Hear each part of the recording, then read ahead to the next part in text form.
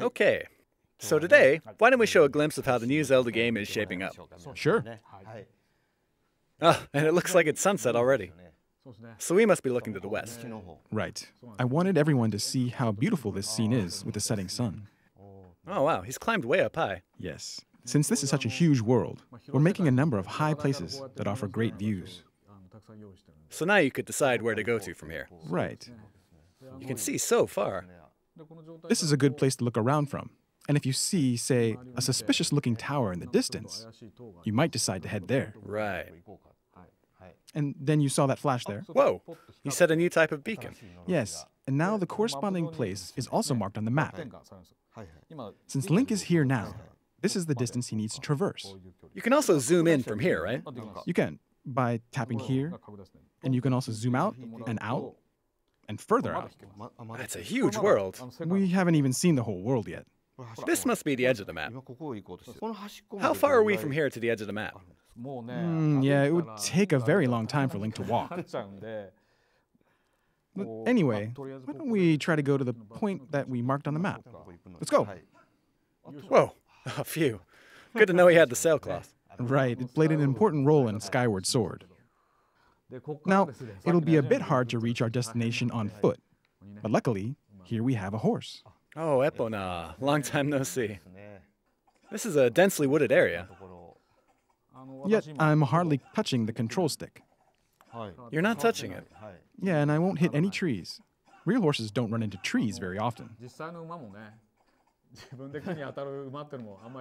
Well, that seems natural. We're working on details like that. And now that your hands are free, you can uh, do a variety of things on the horse. Yes, you can freely change the camera angle, for example. And you can swing a sword like normal. And shoot arrows. Uh, you can take time to aim now. Why don't we go to a place where we can aim at enemies with these arrows? There's insect and animal life as well. I saw apples growing here the last time. Yeah, you can pick and eat them. This looks a bit suspicious. We must be near a dungeon. In places like this, Ah, I knew you it. tend to run into these guys. Oh, another one there. All right. Oh, I heard a metallic sound. That sound tells you that your arrow has hit the right spot and damaged your enemy. And then in situations like this, You can vault off the horse. yes, while jumping, you can shoot arrows. I see. And you're in slow motion while jumping off the horse. Yes, Wow, easier to aim. So how far away is our destination from here? yeah, well, it'll still take about four or five more minutes, I suppose. Four or five minutes more.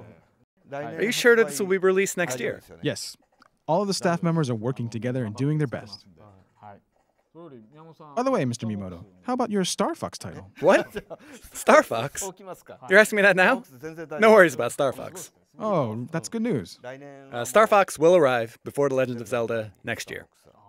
The way it uses the gamepad is really starting to feel good.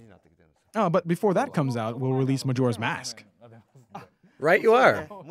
We we've made a number of adjustments to Majora's Mask, and it now feels pretty good on 3DS. Yeah, we we made it easier to play without altering the feel of the original game. Oh. And we've worked on some places where we felt improvements were necessary.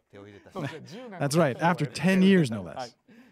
It's taken 10 years, but the 3-day system is intact. And it's so accessible, you could even play while chatting like this. Well, that's all for now. Thank you for watching.